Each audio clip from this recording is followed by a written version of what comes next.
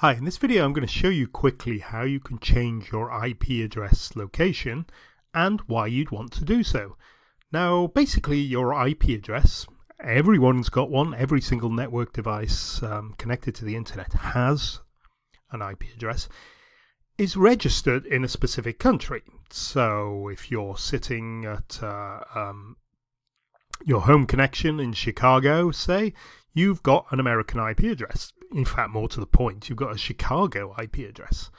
Websites can see this address, and other people can as well.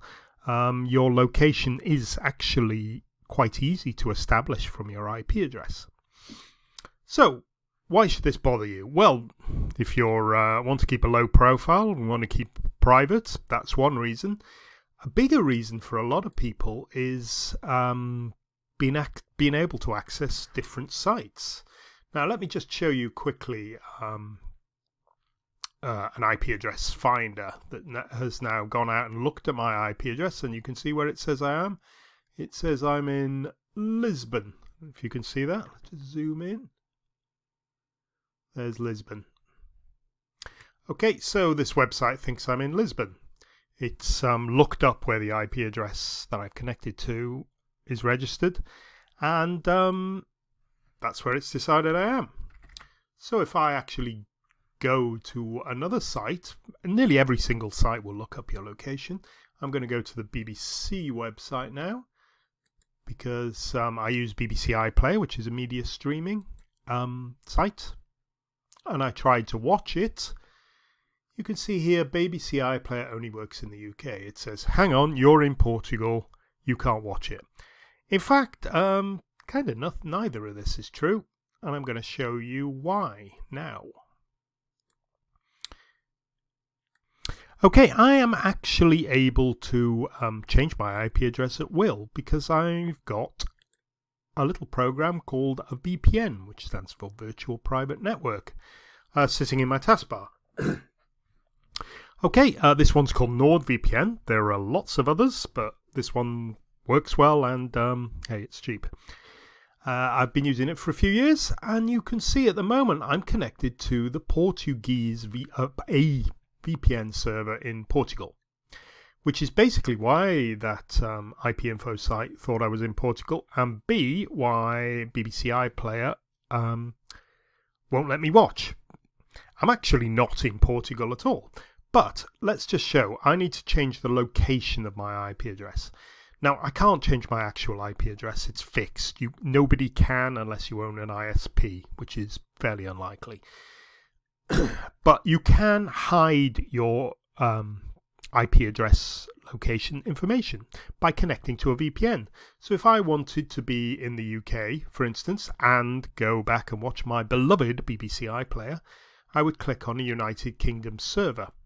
Okay, let me just disconnect this uh, Portuguese server. And now I'm going to go to my, one of my, I've set up a, a series of favorite um, servers here. So I'm going to click on a United Kingdom one. Hopefully you can see this connecting down here. So it's connecting to United Kingdom server 1047. You won't see the IP address because it just puts the server name. And you see it's connected there, NordVPN. Let me just close there. Now I'm going to go back and show you BBC iPlayer. Now remember, I previously had a Portuguese IP address. Now I've hopefully got a British IP address. Or rather, all these websites will see the address of the VPN server. So let's just go and what did we watch? Miranda.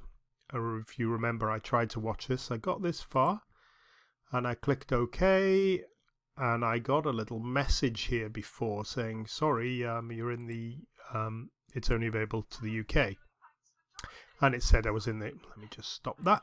And as you can see here it works perfectly because uh, BBC iPlayer is now seeing my um, UK IP address from the NordVPN server. So effectively I can change my IP address at will. Let me just go back to NordVPN. So I'm connected to the UK I can now use UK resources. Say I wanted to watch Pandora uh, sorry listen to Pandora which is a um, uh, a US music site, which is brilliant. Um, I urge you to try it out. I could change to United States. Otherwise, I won't be able to watch it. Perhaps I want to brush up on my French. I would go to a French server so I could watch uh, French TV or France TV, I think, or um, one of the many French media channels. Simple fact is, all these websites are blocked to the uh, only available to the domestic market, and um, you need to change your IP address to access them. Otherwise, you will live in a world where website after website after website will be blocked based on your location. And if you go anywhere obscure, you won't be able to access any of the decent websites. I mean, at least in the US, you can watch all the American um, websites, but without a VPN. If you are in Papua New Guinea, you're restricted to Papua New Guinea's websites. Okay, so a VPN is not just a security program, but it is a security program. It is also a way to change your IP address location at will whenever you like. Okay, right, I'll finish there. Uh, thanks very much for watching and uh, hope you've enjoyed the video. See you for now.